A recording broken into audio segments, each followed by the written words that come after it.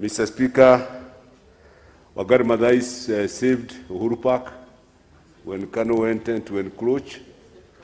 Ka- No, saved Uhuru Park when Kanu wanted to invade the park and put up a monument, Kanu headquarters. She also represented, she also represented herself and camped in All Saints Cathedral, which led to the release of uh, Koigi and others.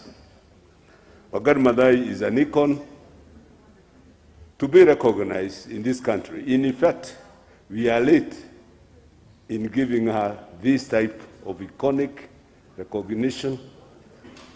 Mr. Speaker, she is a first in many spheres, in leadership and human rights.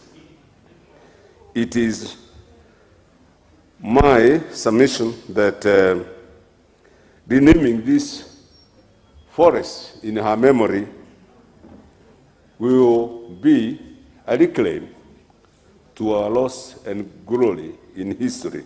Lastly, it is an insult to Wangari Maathai and to environment, green movement, when uh, my, my Aswara colleague here wears yellow when we are dis- discussing green and environment and an icon.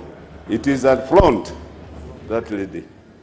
I will also support, I will also look forward, I'm looking forward also to supporting a similar petition when the body brings this petition to, lin- to name, rename, uh, is it called what? A road.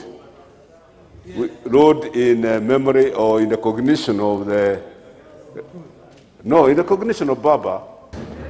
In the cognition of Baba because he also, he was also an associate of Wangari Maathai. He also suffered for human rights. Bagadi Road, when it is brought, it is long overdue that uh, we recognize the living, the living heroes, the living heroes before they die. So Baba should be given a road. Similarly, Wangari Maathai. Thank you.